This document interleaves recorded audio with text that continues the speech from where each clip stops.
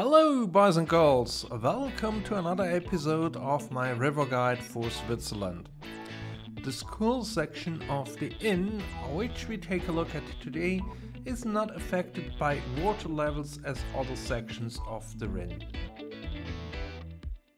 The difficulties for the complete section are between Whitewater 2 and 3, with some spots that are harder and can mostly be portaged easily.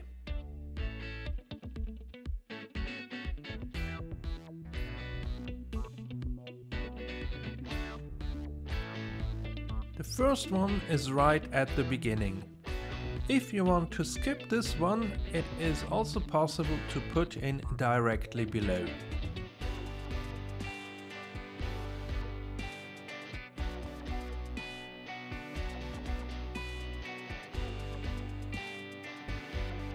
When there is a mineral well at the right side, a cataract with considerable grade runs towards a boulder while there are also underwater rocks in the middle.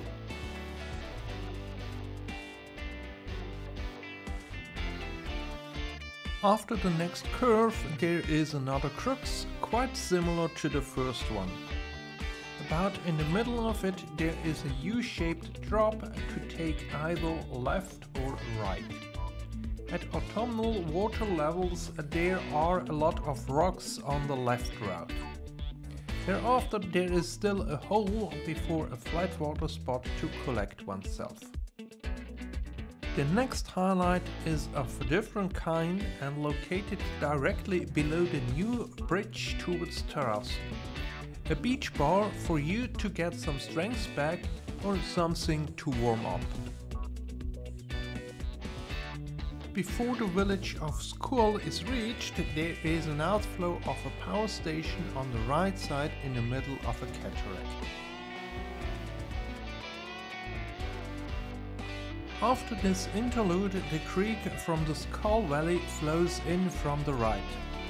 It often brings a large amount of rubble that can bring frequent changes onto the following section, making it mostly easier which was the case here.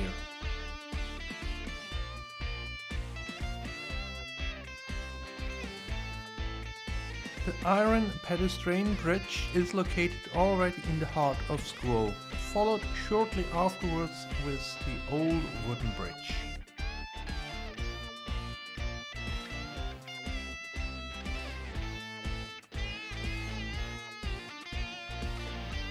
Afterwards, difficulties rise slightly again until they culminate in a nice natural boulder slalom.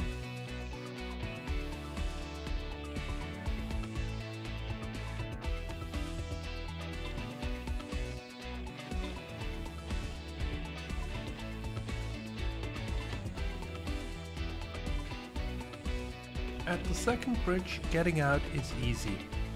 Carrying on down to the reservoir is possible but not very interesting due to the high amount of rubble. You can find additional information down in the description.